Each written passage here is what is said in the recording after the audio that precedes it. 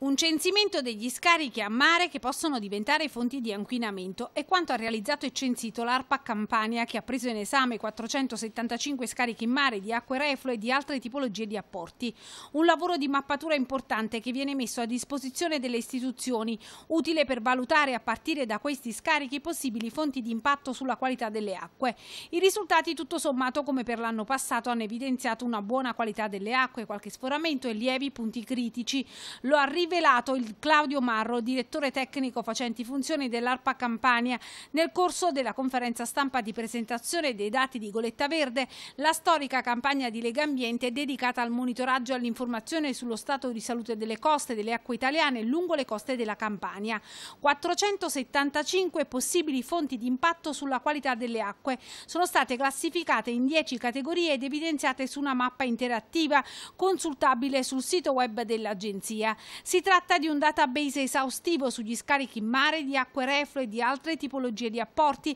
che viene messo a disposizione di istituzioni e cittadini campani. Uno strumento che sarà utile in caso di fenomeni di inquinamento che dovessero interessare proprio le acque di balneazione, principalmente alle amministrazioni comunali, ma anche ai gestori degli impianti di depurazione che potranno avere un quadro più chiaro ed immediato delle possibili cause di contaminazione presenti nell'aria e adottare le misure necessarie di rimozione produzione.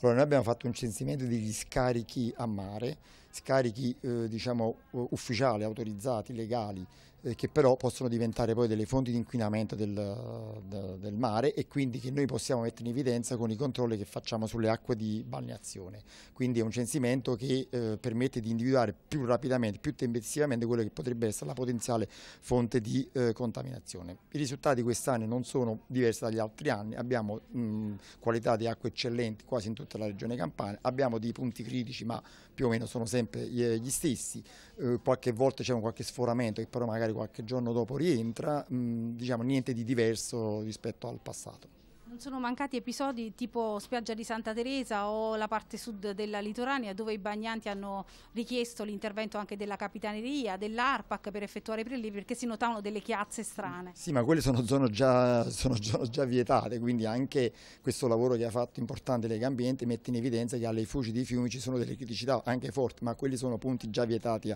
alla, alla, bagna, alla bagnazione, quindi niente diciamo, di, di, diverso rispetto al passato. È, è però importante tenere sotto controllo questi punti perché chiaramente poi hanno delle ripercussioni negative sulla qualità delle acque di bagnazione. La schiuma che ad esempio i bagnanti si sono ritrovati sulla spiaggia di Santa Teresa è legata a cosa? Noi abbiamo visto in alcuni casi la presenza di tensioattivi, quindi qualche scarico non autorizzato eventualmente c'è stato, però eh, i valori di enterococchi e di escherichia coli, che sono i due parametri ufficialmente che dobbiamo monitorare, non hanno dato eh, superamenti.